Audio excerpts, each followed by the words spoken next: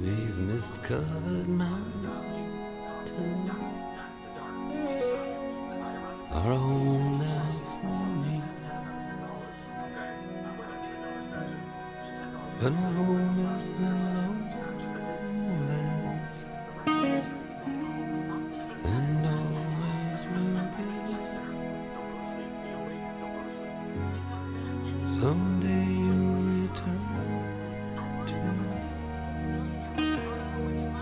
your valleys and your farms, and you no longer burn to. While they decide where to buy, they've been renting this two-bedroom, one-bathroom apartment with lots of those early colonial quarters. Come on in. You can see this tiny little kitchen we have.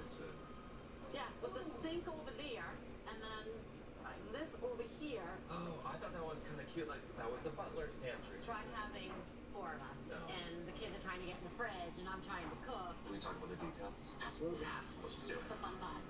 I like this part. Time to get down to the business of buying. Okay. So I'm going to start with what I usually ask last. How much money do you want to spend? From 350 to maybe 400.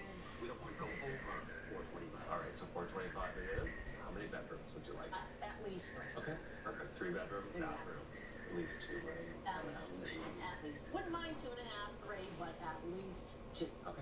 square feet are we looking? Right around 2,000 square feet would probably be good. We'd like to have some of a backyard. It doesn't have to be huge. You know, we could find like a pool. Maybe enough room that we could put one in. So room for a pool? Yeah. All right, how about property? Are we looking city? Are we, you said you're not really a city girl. So no. More into the country. More country -ish. When we say country. When you're in Massachusetts and you're coming to New Hampshire. Everything's country. Everything's more country.